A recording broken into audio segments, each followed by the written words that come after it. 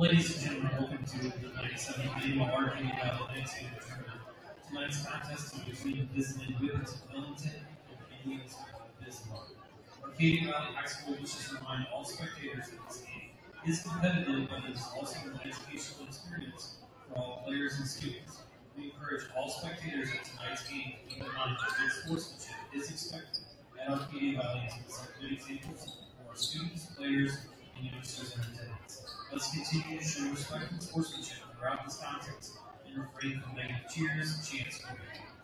Now let's meet tonight's starting lineups. First, for the visiting team on the scoreboard, the Whippets, coached by Jimmy Peterson, Jake Klein, and Bryson Cable. Number zero, Raylan Morrison. Number 13, Brock Jordan. Number 34, Josh Foster. Number 35, Richard Brewer. And number 42, Brent Ford. And now the home team on the scoreboard, the Indians coached by Greg Dale and Tyler Beers. Number 3, Jordan Petrosad. Number 11, Garrett Moore. Number 12, Davin Miller. Number 23, Landon Hill. Number 35, Sven Wilson. Referees for tonight's contest are Brady Hubbard, Scott